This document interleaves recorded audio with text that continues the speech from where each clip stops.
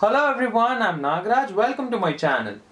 In the previous video, I had explained about the working principle of an IR sensor. In this video, I'm going to show you how actually it works. So let's get started. I've used an Arduino board just to power this IR sensor and I've powered on the Arduino board with a USB cable. And I have three pins and VCC of the IR sensor is connected to 5 volt on the Arduino board. Ground is connected to Arduino ground and the output of the IR sensor is connected to any of the digital pins. The device is now powered on. The IR LED is emitting IR radiations but the photodiode is not detecting it. This LED is not glowing which indicates that the output is low. Now if I bring my hand close to this as you can see the LED is now glowing which indicates that photodiode is detecting the IR radiations emitted by the LED because it is reflected back to the photodiode.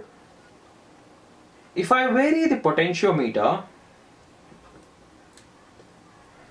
potentiometer is basically resistance. If I increase or decrease the resistance, the voltage also changes. So let's see now what happens. Now the range has increased. The distance between my hand and the IR LED is more now. This potentiometer is varied to adjust the voltage given to pin number 2. If it is kept very low, then a low voltage at pin number 3 is enough for detection.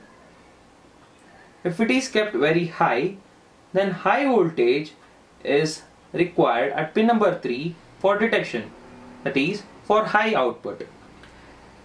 As we know, the intensity of light falling on the photodiode determines the voltage generated by it.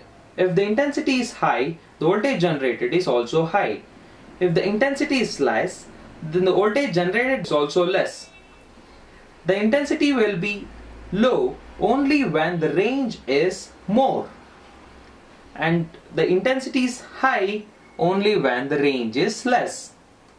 So if this voltage is kept very low, then a low voltage which is slightly more than this voltage is sufficient for detection. That means the range is more because low voltage means low intensity is enough and therefore the range is more. If this is kept very high then high voltage is required at pin number 3 and therefore high intensity is also required and this can happen only when the range is small. I hope you guys have understood why we vary potentiometer to vary the range. So this is how an IR sensor works. For detailed working of an IR sensor, you can watch my previous video. Uh, the link is also given in the description. If you have any doubts, you can ask me. So that's it about this video. Thanks for watching. See you next week.